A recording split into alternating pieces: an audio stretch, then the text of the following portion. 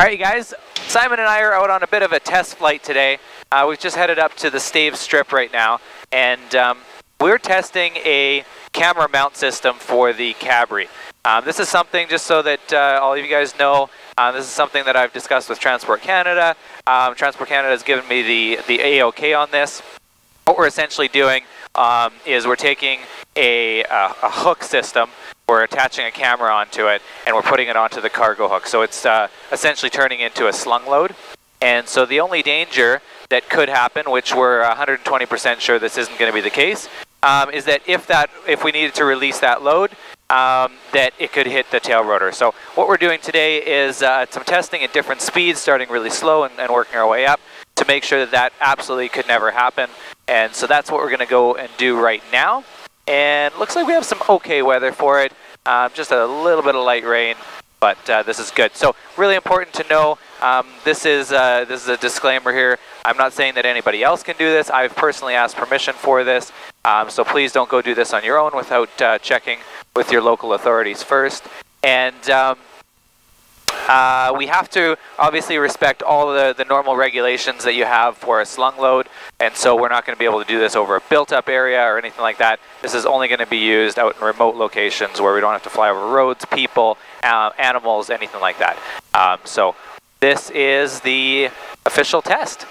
Okay, so we just uh, tested the hard cargo hook now. We tested the um, electric release, the manual release. So Simon's just heading out now. We're gonna do test one at 40 knots.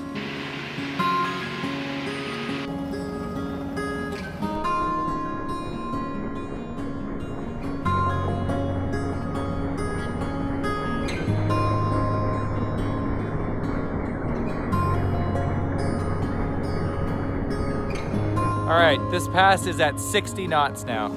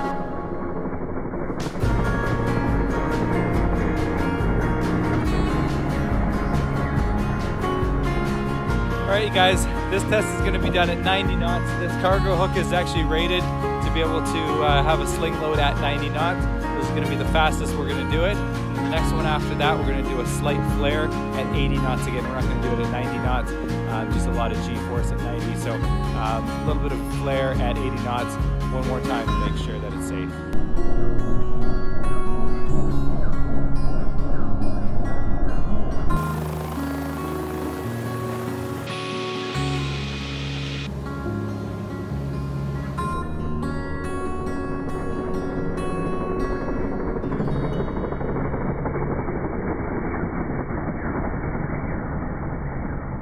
Okay guys, so this one is to be done at 80 knots with a slight flare.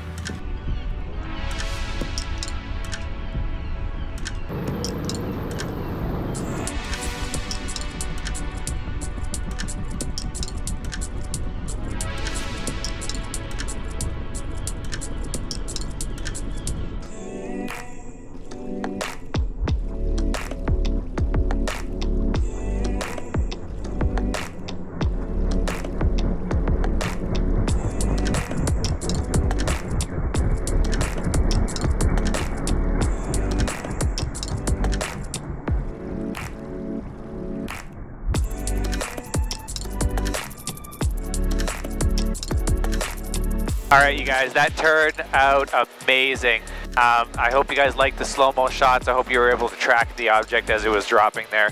Uh, none of them, not even up to 90 knots or 80 knots with a flare, none of them got anywhere near the tail rotor. So just uh, as planned, obviously. So um, I hope you guys are looking forward to some outside shots uh, from around the area here. Been really excited about this. Um, it's actually Simon's idea to figure out uh, to do it this way. And so I'm really excited to be showing you guys some footage uh, from outside the helicopter for a change. Hope you guys like this video. Talk to you guys later.